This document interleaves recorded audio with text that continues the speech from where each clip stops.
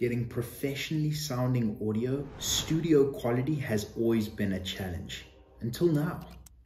This is what the audio is going to sound like when you use this free, fast, and accessible to anyone feature that I'm going to show you today.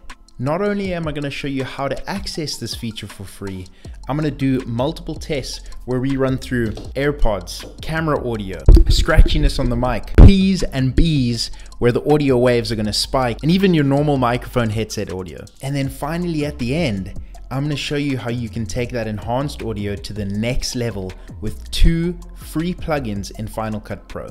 Watch till the end of this video to see all the amazing tips and tricks on how to get perfect audio. These comparisons are gonna be fun because you're gonna get first-hand hearing of what the AI tool sounds like. For this test, we're on a standard camera. We got a busy road to my left, we got water, we got birds, we got crickets, we got so much sound around us. Let's switch on the audio tool. And what's cool about this test is you're going to get to hear what that audio sounds like before even I do. So I want you to put in the comments what this AI tool is doing to the audio, if it sounds better, worse, or the same. For this next test, and I'm super excited about this one, we're using Apple's Gen 1 AirPods. Let's go and switch it on. And we're just going to talk normally. Gen 1 AirPods are notorious for being really bad audio quality, so I am so curious to put this into post production, show you how to do it, and hear what it sounds like. Drop in the comments like you guys have been doing put AirPods better, worse, or exactly the same with the tool on versus off. For our next test, we're just using the iPhone 12 Pro's audio. Now, the ceilings are relatively high. I'm six foot and I can't touch the ceiling. We don't have any sort of audio padding, professional equipment, or anything of the sorts in this room. This is a relatively echoey room. I'm gonna go ahead and also get a bit further away from the microphone. So if I stand back here what does that audio sound like with this tool switched on? If I'm walking around as well and maybe uh, just moving back and forth from the microphone, again, this is just an iPhone, no fancy equipment, nothing of the sorts. Let me know in the comments what you think. Now, this cannot be a comprehensive audio trial without using the trusty old Apple wired headphones. And this is what this test is on. Let's go ahead and turn that tool on and put it in our shirt. Now, I've even used this tool on professional shoots, and sometimes we get that audio rubbing sound of the microphone rubbing against the clothing of the person or the skin of the person. What does it sound like now, guys? I have no idea. What does it sound like to you guys? Drop it in the comments. And sometimes we get those poppy, poppy sounds. I cannot wait to hear what it sounds like with this tool switched on. And lastly, what if we put this into our ear and we're just talking to you guys like normal? I hope, fingers crossed, this is a great representation of what this AI tool is capable of. And now, what about a professional studio microphone that doesn't have a pop filter? How does that sound? How does it sound when we spike the audio wave? So I'm to just do some pops. I apologize in advance. Let's see what this tool can do. Peter Peter Pumpkin Eater had a wife but couldn't keep her.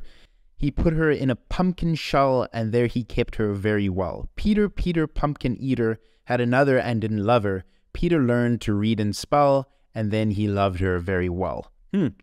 Curious to see how that went. For this test, we're going to be comparing those cheap wireless Bluetooth microphones that you get from Amazon. Here we go. Five things school didn't teach you, but I will. Don't save money in the bank, compound interest, the rule of 72, the 10 20 rule, the 50 30 hmm. 20 rule. Interesting. I have no idea what it sounded like. Let me know. Now, finally, I'm sure the moment you've all been waiting for. Here's how you access and use this tool. Go to podcast.adobe.com forward slash enhance. That link is going to be in the description for you to easily click on. And this is the site that it takes you to. If you want to access this enhance site again, go quick tools and go to enhance speech. If you don't have an account, go ahead and create an account. You can see there's mine. And here we are on the page where we see speech enhancement makes voice recording sound as if they were recorded in a professional studio. Remove noise from voice recordings with speech enhancement. And this test right here is absolutely incredible. I would highly recommend that you listen to it when accessing the page. But let's see how we use it. All you have to do is drag and drop your audio or click the upload button, find the audio file that you want to use and click open. Now, I highly recommend using Google Chrome for this as sometimes Safari doesn't work quite as well. But once you upload your file, you'll see enhancing speech and this can take up to 10 minutes to enhance depending on the length and quality of your audio. Once it's done processing, all you're going to do is go download. It's going to save it pretty much instantly. And let's go over to Final Cut Pro to show you how to import it correctly and the final tweaks that you can do to enhance that audio even further. So straight from your downloads or from the folder that you saved your audio to, go ahead and drag and drop that in to your project. Now, make sure that your waveforms are perfectly aligned. So if we go and play that, now finally, that sounds perfect and it's perfectly aligned. I like to check it a couple times just to make sure that I am in sync. Once I am, all you need to do is drop that audio from your original audio and you have the enhanced audio playing in the background. Now, for those who don't know how to export audio, it's very simple in Final Cut. Set your in and out points for what audio you want to export by clicking I and O respectively. Go File, Share, Export File, go Settings, and change your format to audio only.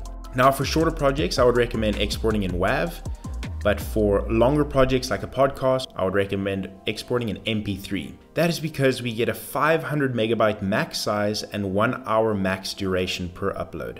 Now a WAV file of one hour is going to be over 500 megabytes in size, so you won't be able to upload it. And also take note that you get up to three hours total per day. Again, just to summarize, for shorter recordings, I'd say under 20 minutes, export your audio in a WAV format that's going to give you the highest possible quality. And for longer formats, over 20 minutes, go MP3, and that's going to drop your file size. So now you have this enhanced audio. What do we do with it in Final Cut? Click on your audio, go to your effects, and what I want you to search is compressor. All you need to do is double click the compressor what this does is it essentially limits your peak points and your low points and evens out your audio so you get a more stable sounding audio without too many fluctuations in decibels. Very quickly, if we go and turn our compressor on and off, you can see that our total waveforms increase, showing that the loudness has increased, but also we can see that those waveforms are relatively easy across the entire board they're all pretty much hitting that bass line right there. Now the second effect we're going to use is something called channel EQ. Search channel EQ in the audio tab and double click that. It's going to apply it to your audio. And now what you can do, and this tool is really cool because this is one of the cons of using this Adobe tool, is sometimes the audio comes back sounding a bit damp. It sounds like it's very monotone or there's we're speaking through a wet towel or speaking through a wet blanket. Let me just take you back here. We're gonna click those tools right there. And these are our frequency toggles. So over on this side, we have the high pitch and over on this, we have the low pitch. So let's just quickly listen to our audio. All you have to do is drag and drop your audio. Perfect. What we're gonna do is widen this back piece and drag it up slightly. Now this is gonna increase the bass in our audio. Or click the upload button and now we're gonna do the same for the top half. We're gonna widen this function right here by clicking that circle, drag it, and drag this up. This is gonna increase our high frequencies. If we go ahead and toggle this off and on, and you can hear that audio sounds more crisp now than it did without these small little tools. If we dramatize that and drag it up a lot, again, it sounds a lot more crispy clear and like we have those high pitched tones. This is a bit too much for me, so I'm gonna go ahead and drag that down, but it's definitely sounding better. And those are the two tools that you can quickly apply in one minute or less that'll take that enhanced audio to the next level. Guys, we're in the last segment of our video, the conclusion. Straight off the bat, I hope you found this informative, helpful, educational, and you learned some things that you can use to take your audio to the next level. But let's run through some of the things that we learned while using this tool.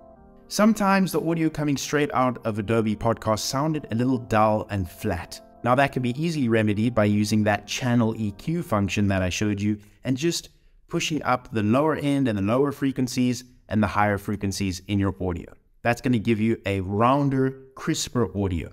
In the case where our audio was natively captured in a terrible, terrible way, like during the AirPod test, the audio came back from Adobe Podcast sounding extremely digitized to the point where it didn't even really sound like my voice. Now, even if you use the compressor and the channel EQ tools, the odds are you're not going to get that audio sounding that great like it is sounding now.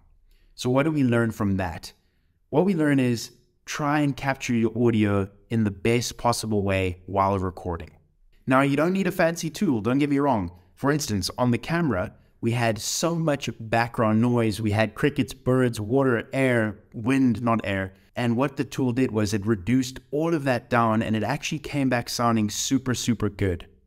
So you don't need a fancy tool, don't get me wrong. You don't need a fancy tool to make it sound incredible. Now, something else that I discovered while editing this is sometimes when I left the original audio on by, let's say, minus 10 dBs, for instance, in the iPhone case, the audio actually sounded better. And I believe this is because the original audio has some of those higher frequencies, lower frequencies, and middle frequencies as well. So just having a bit of that original audio in the background actually gave the entire audio and enhanced audio a fuller feel. These are things that you're to have to play with when you edit and find what workflow works best for you.